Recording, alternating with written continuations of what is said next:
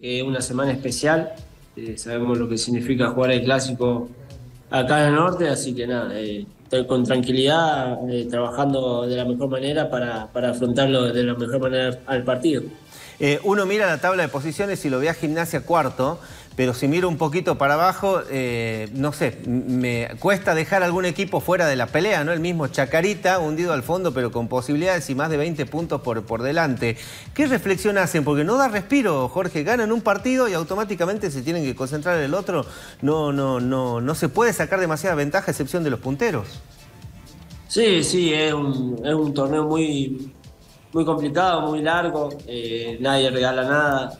Como, ve, como decís vos, eh, estamos ahí cuarto y el, el, último que clasifica está a 7, 8 puntos, entonces no te puedes relajar en ningún momento, todos estamos peleando por algo, este, los de abajo también están peleando por no descender y también hay una, una brecha muy corta de puntos, entonces no, no hay que relajarse y hoy bueno, nos toca estar ahí arriba y, y afianzarnos a ese lugar y, mantenernos ahí. Eh, Jorge, eh, es un torneo que claramente premia la regularidad, ¿no? Y esto lo ha marcado San Martín de San Juan y San Martín de San Juan, dos equipos que perdieron con ustedes.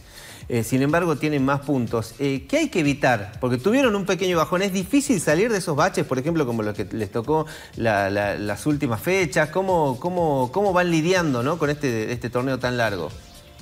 Sí, sí, sí, como es muy difícil, es muy difícil, como te digo antes, no puedes relajarte ni un poquito porque, bueno, eh, le pasa factura, pero nosotros veníamos haciendo bien las cosas, creo que con Patronato nos venimos con la mano así justamente por la cantidad de situaciones de gol que tuvimos, este, casi lo cobro de lo mismo, nos quedamos con la mano vacía por, por un gol de otro partido, entonces por ahí los detalles, eso tenemos que seguir puliéndolo. Eh, el otro día también iba a ser injusto que el partido terminara 0 a 0 cuando Güemes no nos pateó una vez al arco nosotros fuimos a todo el partido.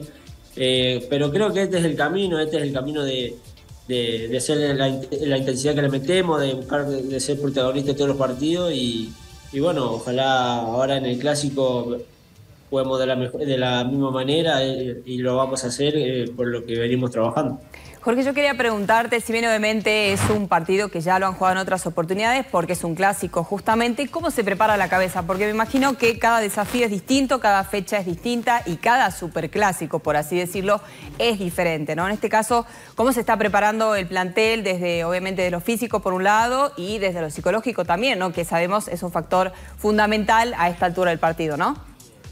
Sí, sí, con tranquilidad, con tranquilidad, porque tenemos que hacer las cosas que venimos haciendo, eh, que es ser protagonista, como te decía, en todos los partidos, los últimos partidos fuimos protagonistas, entonces venimos por esa senda, queremos, queremos seguir eh, ganando y, y, afianzarnos cada vez más en el reducido, así que eh, con tranquilidad, por ahí obviamente la gente este, se impacienta un poco, en, en algunos partidos se impacientó por ahí que no entraba la pelota, pero bueno, hay que tener un poquito más más de tranquilidad en ese sentido, que, que nosotros hacemos lo, lo, mejor posible para sacar los partidos adelante y, y ser protagonistas como, como quieren todos. ¿no?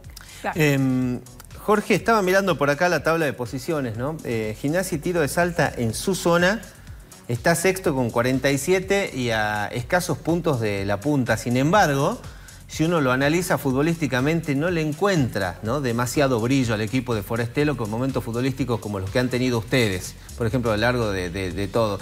Eh, lo ve como un equipo, eh, a ver, sólido eh, y cuesta encontrarle también falencias en lo defensivo. ¿Por dónde se le entra a este gimnasio y tiro de salta? ¿Qué es lo peligroso que tiene que lo ha puesto tan arriba hoy, a pesar de la irregularidad que ha marcado a todos los equipos en la categoría? Sí, es un, equipo regular, ¿no? Un equipo que, que, se mete atrás, se cierra, sale de contra, eh, es lo, más fuerte que tienen. Por eso tienen también poca cantidad de goles a favor y poca cantidad de goles en contra. Este, no, no, no, no son tan protagonistas como somos nosotros de, buscar los partidos. Ellos, eh, si bien se meten muy atrás con líneas de 5, entonces por ahí la regularidad la lleva a hacer eso, de, de jugar todos los partidos iguales. Eh, pero bueno, nosotros venimos trabajando para contrarrestar eso y, bueno, ojalá quedarnos con el clásico que, sería el más lindo. Nos quedan 30 segundos y los 30 segundos son de tu mensaje para el hincha que, te recibe con, tanto cariño eh, y que parece hasta te quiere borrar el apodo de Tucu, ¿no? Por cómo te trata el jujeño. Jorge, este, ¿qué le decís al hincha albiceleste que el domingo, que el domingo pasado ya se expresó y dijo el próximo cueste lo que cueste?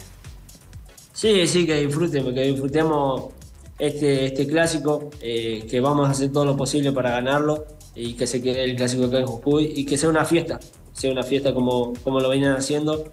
Así que nada, que, confíen que nosotros vamos, vamos a hacer todo lo posible para, para que se quede acá en Jujuy.